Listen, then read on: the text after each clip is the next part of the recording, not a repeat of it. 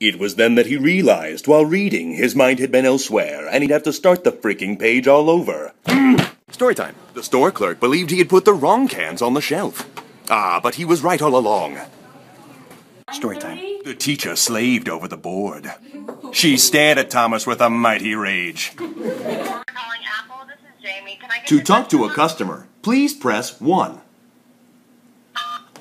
Any questions before free time? Yeah, didn't you say there was gonna be a pop quiz today? What was that, Thomas? I didn't say nothing. I didn't say anything. I'm driving. Shotgun! Oh, but you had it on the way here. Whoa, whoa, whoa! No, I found a shotgun, and I want the front seat. I wish I could hang, guys, but I gotta go hit the books. Aww. Okay, let's hang. Yeah!